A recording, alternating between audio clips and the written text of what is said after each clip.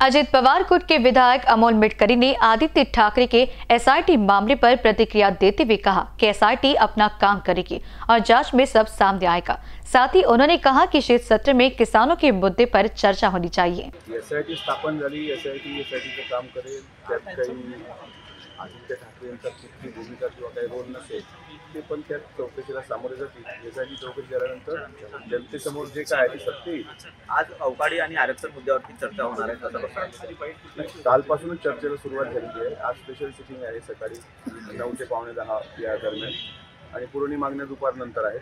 लक्षवेधी कालचे आज आहेत. कामकाजामध्ये मी सकाळी बघितलं. आणि शेतकऱ्यांच्याच प्रश्नावर मला असं वाटतं विदर्भात जास्तीत जास्त चर्चा व्हायला पाहिजे. मी पण माझ्या भागातले प्रश्न आज मांडणार आहे.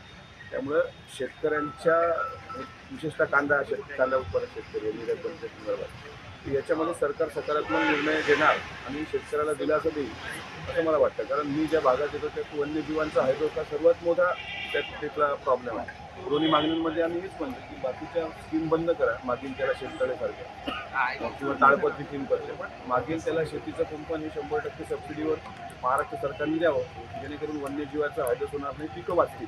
अशा पद्धतीच्या मागण्या आहेत आमच्या आणि सरकार मान्य करेल.